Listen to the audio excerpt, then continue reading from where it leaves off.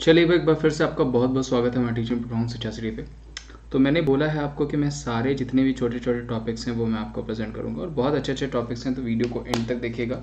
और आज मैं आपको इंपॉर्टेंट इंटरनेशनल ग्रासलैंड के, यानी सभी जो घास के मैदान हैं, उनके बारे में पढ़ाने वाला हूँ। एक नंबर का क्वेश्चन है जो कि आपको पूछा ही जाएगा और बनेगा भी बनेगा, ठीक है?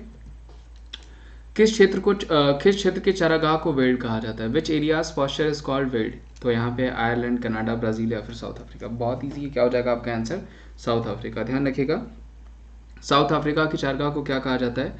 वेल्ड कहा जाता है। उसके अलावा मैंने आपको जनजाति भी बताई थी कि मसई अगर पूछा जाएगा और आपको पूछा जाएगा कि जूलू कहाँ की जनजाति है तो वो साउथ अफ्रीका की हो जाएगी। लानोज कहाँ के घास के मैदान है भाई? Where is the grassland of llanos located यानी कहाँ से संबंधित हो जाएँगे?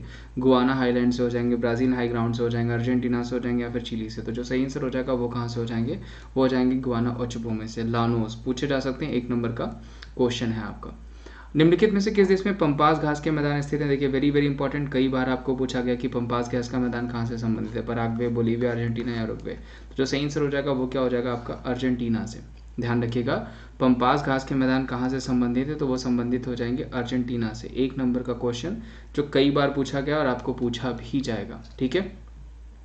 कनाडा के मध्य छांसी घास के मैदान क्या कहलाते हैं? यानी पूछा गया what are the mid mid latitude grassland of Canada called prairies कहलाते हैं, पंपास कहलाते हैं स्टेप्स कहलाते हैं डाउन्स कहलाते हैं। तो जो सही आंसर हो जाएगा, वो क्या हो जाएगा? आपका प्रेरीज ध्यान रखिएगा, आपका प्रेरीज जो है, वो कनाडा के ग्रासलैंड कहलाते हैं, जो कि आपको पूछा जाएगा। प्लस मैंने यहाँ की जनजाति बताई थी आपको वो क्या हो जाएगी आपको? वो हो जाएगी स्कीमो। ध्यान रखिएगा, क्या बताया था आपको? स्कीमो। क्या हो जाएगी? वो यहाँ की जनजाति हो जाएगी जो कि आपको पूछा जा सकता है। ठीक है? ध्यान रखिएगा। तो कनाडा का अगर पूछा जाएगा तो वो क्या हो जाएगा? प्रेरिस बेसिकली यूएसए भी मेंशन करता है आपको। ठीक है? ध्यान रखिएगा। डाउन्स अगर पूछा जाएगा जो कि दिया हुआ है तो डाउन्स ऑस्ट्रेलिया हो जाएगा, मैंने आपको बता भी रखा हो। सकता है आगे सेशंस में भी हो। ठीक है? तो डाउन्स कहाँ का हो जाएगा? ऑस्ट्रेलिया हो जाएगा। स्टेप्स अगर पूछा जाएगा तो नॉर्थ एशिया या फिर यूरोप का हो जाएगा। उसके अलावा प्रेरीज अगर पूछा जाएगा तो वो हो जाएगा आपका यूएसए या आपको कनाडा देगा। बाकी पंपास अभी जैसे मैंने आपको बताया अर्जेंटीना। दक्षिण अमेरिका के शीतोष्ण घास मैदान को क्या, घास स्थलों को क्या कहा जाता है? यानी what are the cool temperature grassland of South America called savanna कहा, कहते हैं हम, पंपास कहते हैं प्रेरीज कहते हैं या फिर वेल्ड कहते हैं। तो देखिए जैसे मैंने बताया वेल्ड कहाँ हो जाएगा? साउथ अफ्रीका हो जाएगा। प्रेरीज पूछा जाएगा यूएसए हो जाएगा, पंपास कहाँ हो जाएगा? अर्जेंटीना। ठीक है? तो पंपास क्या हो जाएगा आपका? घास स्थलों को कहा जाता है। जस्ट मैंने आपको बताया था कि साउथ अमेरिका के जो घास होते हैं वो पंपास पूछे जाएँगे आपको। एक नंबर का क्वेश्चन आपको पूछा जाएगा, ठीक है? जबकि अगर स्टेप्स पूछा जाता तो वो नॉर्थ एशिया से संबंधित हो जाता, ठीक है? आगे बढ़ते हैं, अगला क्वेश्चन लेते हैं भाई।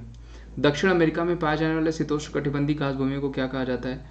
वेल्ड कहा जाता है कैंटरबेरी कहा जाता है डाउन कहा जाता है पंपास कहा जाता है। ये क्या हो जाएगा आपका? वेल्ड। देखिए यहाँ पे दक्षिण अफ्रीका है सॉरी वही मेरे को अमेरिका कैसे हो जाएगा? दक्षिण अफ्रीका का अगर पूछा जाएगा तो वो क्या हो जाएगा? वेल्ड हो जाएगा। एक नंबर का क्वेश्चन ये भी है, जो कि आपको पूछा जा सकता है। आगे बढ़ते हैं। वेनेजुएला स्थित उष्ण कटिबंधी घास के मैदान को क्या कहा जाता है? What is the tropical grassland of Venezuela called llanos हो गया कैंपोस हो गया पार्कलैंड हो गया या सवाना हो गया? तो जो सही आंसर हो जाएगा वो क्या हो जाएगा? कैंपोस वेनेजुएला ध्यान रखिएगा, एक नंबर का क्वेश्चन जो कि आपको पूछा जाएगा। सुमेलित नहीं है इसमें से पूछा गया कि कौन सा सुमेलित नहीं है। कैंटरबेरी, न्यूजीलैंड सही है वेल्ड साउथ अफ्रीका सही है, पार्कलैंड, ब्राज़ील, या फिर जो है लानोज वेनेजुएला। तो देखिए, अभी जस्ट आपने देखा लानोज जो सही आंसर हो जाएगा, वो क्या हो जाएगा? वो हो जाएगा आपका पार्कलैंड। पार्कलैंड इसमें सुमेलित नहीं है। ब्राज़ील पूछा जाएगा तो वो क्या हो जाएगा? कैंपोस ईस्ट अफ्रीका पूछा जाएगा तो वो क्या हो जाएगा? सवाना, ध्यान रखिएगा। उसके अलावा वेनेजुला पूछा जाएगा आपको तो वो हो जाएगा आपका लानोज जो कि पूछे जा सकते हैं आपको। शीतोष्ण घास के मैदान, देखिए कुछ इंपॉर्टेंट अर्जेंटीना हो जाएगा, पंपास, ठीक है, अमेरिका, प्रेरीज हो जाएगा, कनाडा भी दे सकता है आपको, ठीक है, एक नंबर का क्वेश्चन है, पूछा जाता है आपको कि प्रेरीज कहाँ तो यूएसए दे देगा कभी कभी कनाडा दे देता आपको, साउथ अफ्रीका पूछा जाएगा वेल्ड हो जाएगा एशिया पूछा जाएगा, या फिर पूछा जाएगा यूरोप तो स्टेपी जो है वो स्टेप्स को जो है वो क्या आता है, आपका एशिया और यूरोप दोनों में डॉन्स पूछा जाएगा तो वो कहाँ पर हो जाएगा, वो हो जाएगा आपका ऑस्ट्रेलिया में, उसके अलावा पुस्ताज पूछा जाता है आपको, वो कहाँ पे हो जाएगा हंगरी में हो जाएगा, ठीक है, ध्यान रखिएगा। जबकि जो है कि पेरिस मैंने आपको बता दिया, वो नॉर्थ अमेरिका में हो जाएगा। एक नंबर का क्वेश्चन साउथ अमेरिका में पूछा जाएगा। आपको पंपास हो गया, लानोज हो गया, ठीक है, सिरोडस सिरोडस करके एक होता है, वो कहाँ के हो जाएँगे? तो वो हो जाएँगे आपके साउथ अमेरिका में। अफ्रीका मैंने बताया, सवाना और बेल्ट कहाँ के हो जाएँगे, जो कि देख भी रहे हैं आप। तो वो कहाँ के हो जाएँगे? अफ्रीका के हो जाएँगे, ठीक है, और डाउन्स कहाँ का हो जाएगा? ऑस्ट्रेलिया का हो जाएगा। तो ये सारे ग्रासलैंड थे इंपॉर्टेंट यहाँ से क्वेश्चन बनते ही बनते हैं आपको एक नंबर के तो ध्यान रखिएगा। और उसके अलावा आपको बताया मैंने अकेडमी पे भी पढ़ाता हूँ। अकेडमी पे मेरी फ्री क्लासेस ज्वाइन करने के लिए आपको क्या करना पड़ेगा? आपको सिर्फ़ एप्लीकेशन इंस्टॉल करना पड़ेगा प्ले स्टोर से जाकर के, जहाँ पे Vimli set date fourteen code use करके प्ले स्टोर पर जा करके आप इस कोड को यूज़ करेंगे तो आपको फ्री एप्लीकेशन मिल जाएगा। एप्लीकेशन बिल्कुल फ्री है। इसके बाद इन फ्यूचर अगर आपको पेड क्लासेस लेनी है इन फ्यूचर अगर आपको पेड क्लासेस लेनी है तो आपको कुछ नहीं करना पड़ेगा। आपको सिर्फ़ इसी कोड को यूज़ करके आप जैसे ही यूज़ करेंगे, अभी देखिए तीन तारीख तक जो है आपको twenty twenty percent something off मिल रहा है plus five percent extra off मिल रहा है कोड के साथ। तो तकरीबन twenty to twenty twenty five to thirty percent तक ऑफ़ मिल रहा है। तो अगर आप लोगों को सब्सक्रिप्शन लेने तो आप इस कोड को यूज़ करके सब्सक्रिप्शन ले सकते हैं। टॉप एजुकेटर्स की तरफ़ से टॉप बैचेस मिल जाएँगे आपको। जो है plus subscription complete syllabus document sessions unlimited e notes भी मिल जाएँगे। रेज हैंड का ऑप्शन है और कॉम्बो सब्सक्रिप्शन भी जहाँ पे बारह महीने छः महीने तीन महीने के सब्सक्रिप्शन ऑप्शन है।